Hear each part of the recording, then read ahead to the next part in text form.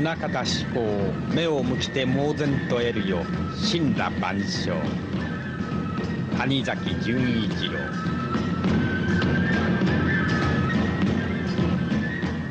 谷崎先生がまあ僕の仕事のブレをですねこういいねもう死んだ万象を祈るように源の版画は生み出すということを歌にしていますけどもまああのそういう一つのあり方が本当に猛然と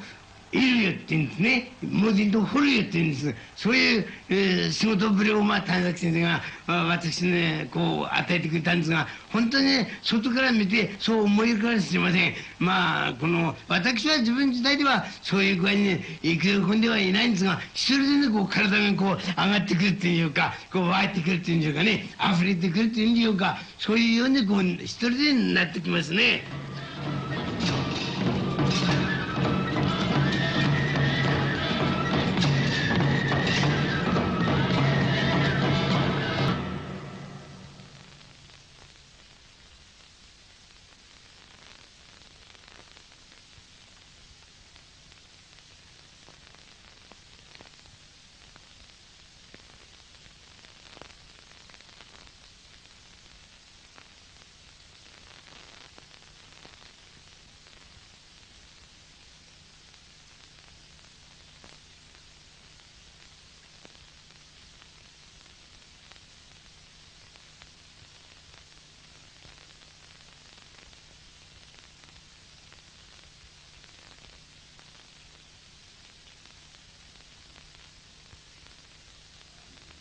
裁判所の給仕をしながら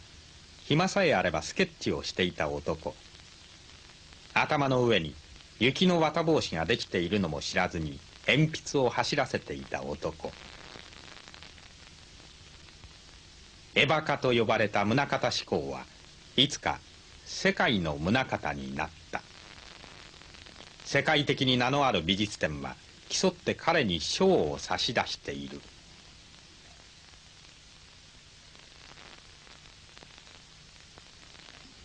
彼は下絵を紙に描かない。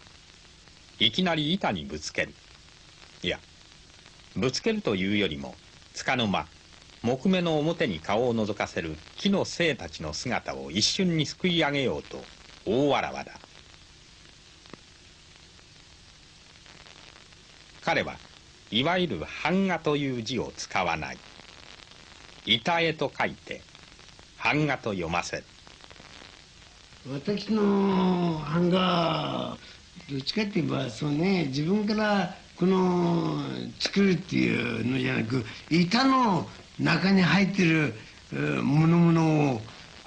出してもらうっていうような言い方ですからまあ作るっていうのも生ましてもらうっていうんでしょうかね産んで、えー、もらいたいっていう願いなんですね。それでこの、えー、版っていうのはご存知のようにこのあのいわゆる印刷の版っていうのはあれは木っていうものを半分に分けた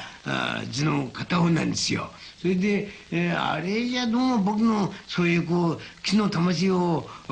受けてもらうっていうものには何だか、えー、ぴったりしないっていうんでそれなら板っていう字使った方がいいと思ってねそれからもう板っていう字を使ってるんですけどもそういう一つのこの自分は板の持ってる生命っていうんですかね木の持ってる生命っていうものと合体して自分の思いっていうものを自分にこの、うん、発揮しそしてそういう板から受ける大きいこの命っていうものか力っていうものをこっちの紙に、えー、この移していただくっていうんで作るよりもいただく方が多いっていうのであの版画っていう字を使うんですがね。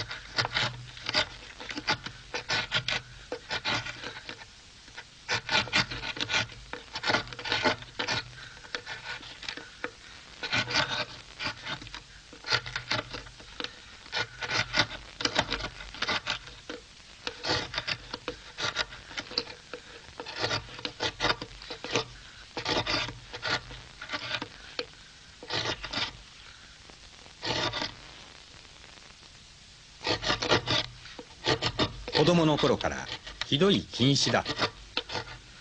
左目はいつか失明。今はわずかに見える右の目だけが頼りである。いつ頃かか、まあ、自然にね、えー、悪くなっていつ、えー、どう悪くなったか自分では分かんないぐらい自然にこう左の方が見なくなりません。よまるっきり左は見ません。ですから私は一つ目小僧ですよね。体の化け物みたいなもんですよ。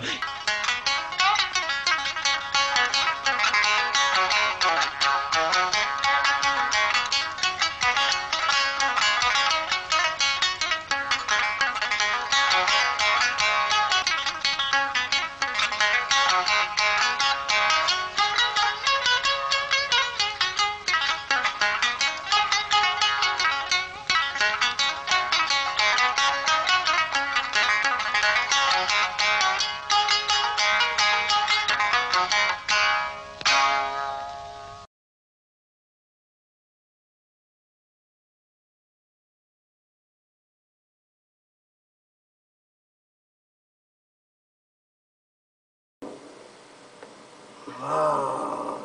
やっぱりこの悲しみっていうことを一番裏に持っていて驚くこととね喜ぶことと多くの大きくね引いてくるっていうことでしょうね。うん、それ悲しみ悲しみが一番後にするの悲しみはね一番この人間の美の感情っていうのか人間の感動の中で一番大切なあことだと思いますね。えー、ベートーベンもなんとか泣かないで本当のものを表そうとしたってことを言います。涙を流しちゃダメだってね。本当の芸ってものは涙じゃないってことを言ったそうです。なくていつでもねあの三時に立つじゃなく、はい、口を二つかいその下へ犬をかくあれあれが本当の泣きあれがねどこの子、はい、あれが悲しみですよ、うん、えー、でそれを本当にねあの